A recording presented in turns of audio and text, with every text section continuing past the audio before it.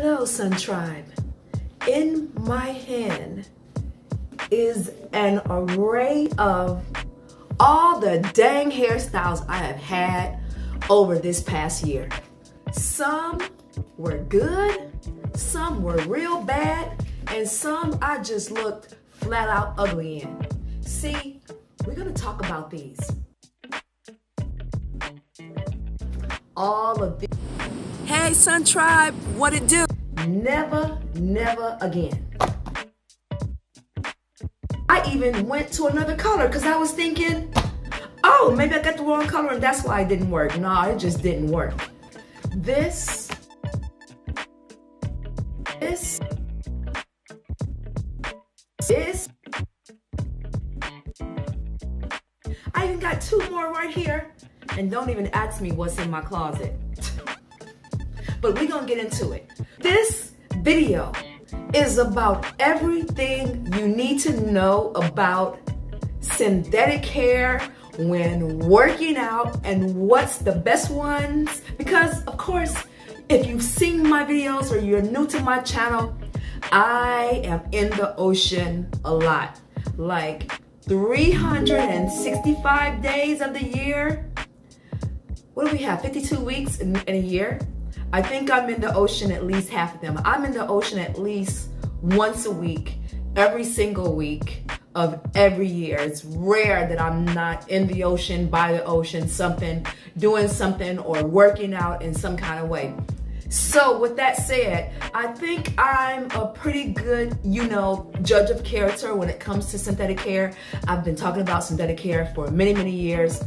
I started wearing synthetic hair back in the 90s um, and just haven't stopped. I mean, there was a time when I did wear human hair for a while. I went through a human hair stage when lace fronts first came out. I really loved lace fronts and you couldn't get lace fronts with synthetic hair at the time. So lace fronts was a big thing. I used to sell my own hair and had, you know, used to travel with many different hair companies to talk about hair extensions and to talk about how to work with uh, lace front technology. And it was a good time, but you know, over that time, the quality of hair started getting really um, unpredictable.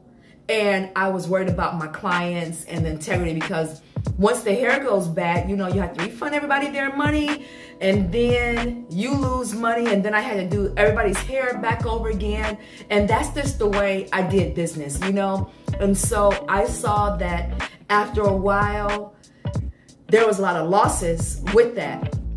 And me being um, plant-based into holistic living, and when you're when you're plant-based into holistic living and you don't eat meat, you become very intuitive and very psychic. And so having other humans' hair in my head, it was like, and hair is antennas. Hair picks up a lot of energy. I started to feel the energy of others in my hair. So synthetic hair for me was, uh, I mean, human hair. Human hair for me was um, a very intense thing sometimes.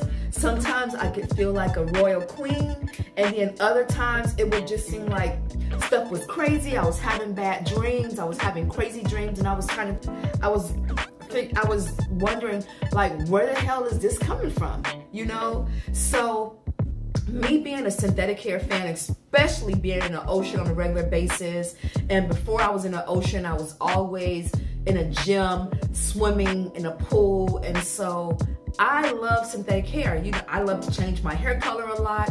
I love to change the different kinds of curl patterns because for some reason, you know, every curl pattern for me doesn't look right at every time. Like the curl patterns I can wear in the summertime is not the same curl patterns I like in the wintertime. And especially with my skin tone changing, like I, I'm, I'm like literally four colors a year. Like in the wintertime, I can, you know, I'm a light skinned woman. in the summertime, I get really, really brown, brown, brown. And I usually wear lighter colors when I'm brown. I love when my skin is golden and brown and everything like that. And so I tend to play with hair color a lot. I just like the different styles, different colors. Sometimes it's subtle changes you can't tell. Sometimes it's bold. Like I'm not as bold as I used to be when I was younger. Like I used to do really, really bold colors. But um, and sometimes I think about it. You know, I, I'm I be feeling those lilacs sometimes. Like I be really wanting to get into the purples, but when I look at my closet and everything in it, I'm like, no, you have to buy a whole new wardrobe just to wear those colors. So I tend to stick with the same like earth tone colors and auburns and copper. I really love the way it looks on my skin and the colors I wear. It brings out, you know, the features in my skin tone and my eyes because certain hair colors you can't tell my eye color. It looks really drab. So I really love synthetic hair and they, they've actually changed synthetic hair over the years. Like if you're noticing in the stores, you know, synthetic hair is changing a lot. Like we went through a whole stage of where you can find um, um, the the five pack, the bundle pack, where you get the lace front. At first, they started off with a small lace front base with the hair, and then they got to the bigger bases with the hair and different ones. And now we're seeing that they're back to selling the bundles, but without the lace fronts. And that is a direct you know that is that is with intention a direct business intention to make you um, and just to, just to discourage you from buying synthetic hair and to start buying human hair again because the companies realize, especially Korean companies, Chinese companies, they realize that they make more money with the human hair and that since more women are going, you know, chemical free, natural hair, um, more natural styles that look like our hair texture that we're not we don't we don't we're not interested in human hair anymore. So they're kind of like trying to create this discouraging discouragement with buying human hair with buying synthetic hair excuse me. They're they're purposely doing that. And i know this because i've worked with a lot of hair companies over the years and and i used to work in the back of um, beauty supplies and a lot of Korean beauty supplies. I had a private room in the back of the beauty supply doing a lot of different hair, learning about hair, learning about the companies and what they wanted to push on hairstylists about hair and um, you know, the agenda is to always get us back to human hair and to want straight hair. So it's not by accident that they want us to have straight hair. And the only reason why we have more braiding hair, crochet hair, and as you see, the crochet hair is is going up in price too. You see that? And they're slowly trying to get silkier. And you know why they're doing that? Because the agenda is to get you back towards straighter hair and to get back to straighter hair, you're going to have to be chemically dependent again. So that is their push too, to push chemical, you know, dependency on another generation. But we have the power.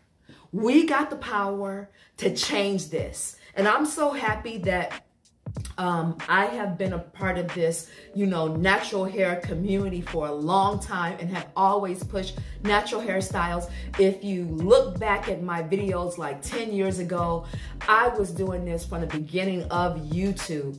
Why I'm not monetized right now, I don't know. But this has always been something that um, I have um, always been a part of and uh, synthetic hair. You know, if, I mean, there's things online, articles I wrote back in the day online um, for different hair companies when synthetic wasn't popular and we only had like Batik in the stores and that shady Toyokalon hair. but this is me talking about, you know, for 2021, hairstyle synthetic hair that you can work out in, play in the ocean, and live a life. Yes, let's do it. Let's do it. Let's do it. I really enjoy wearing this full cap wig, which was by Bobbi Boss, the Trendi wig, Alina, and the color was 42730.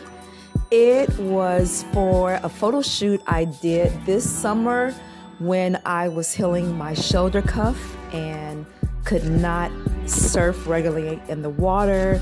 And so I was playing in the water with it. I got my hair wet, and look at that. I just think that it was beautiful and it gave me a very, you know, exotic look.